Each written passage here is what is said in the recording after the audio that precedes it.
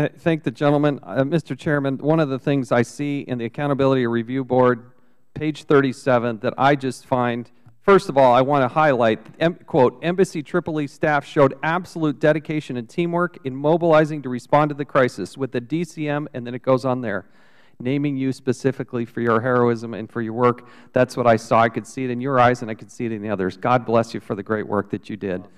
But the next paragraph, Mr. Chairman, I have a real problem with.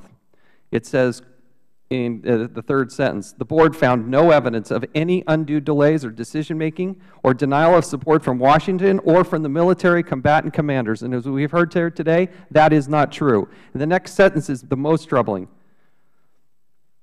Quite the contrary, the safe evacuation of all U.S. government personnel from Benghazi 12 hours after the initial attack.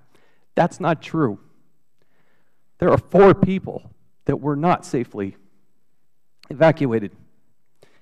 And at the very beginning of the ARB, it says, quote, those who cannot remember the past are, commended, are condemned to repeat it. I think that's true. We always have to remember them. And we can't allow this ARB to say that everybody was safely evacuated, because they weren't.